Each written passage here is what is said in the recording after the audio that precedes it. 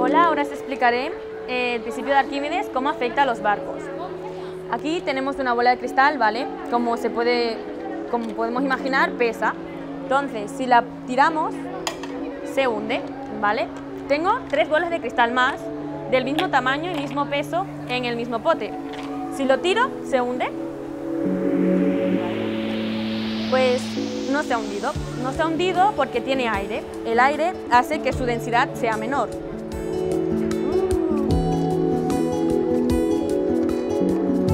Vale, ahora lo llenaremos con agua a ver qué pasa.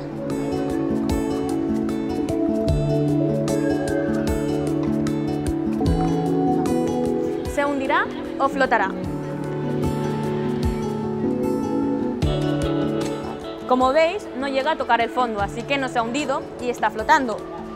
Y esto uh, es porque he dejado, como veis, un poco de aire para que su densidad no sea muy, muy elevada. ¿Vale? En teoría se tendría que hundir si lo hubiese llenado de agua completamente. Aquí haremos la demostración con el barco, ¿vale? Como veis, el agua está a un nivel. Si lo hundimos, el nivel del agua va aumentando, ¿vale? Como veis, eh, la forma peculiar ayuda también a que el barco se, eh, mantenga en flote. Eh, también sabemos que los barcos están llenos de aire, ¿vale? Para que puedan flotar y su densidad sea menor.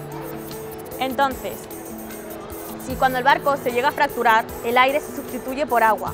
Eso hace que se hunda. Al no tener ni un rastro de aire, llega a tocar el fondo hasta hundirse, ¿sí? En la demostración que hice, dejé un poco de aire para que quedara flotando, ¿vale? Y veamos lo que provocaría si el barco tuviera una cantidad mínima de aire, ¿vale?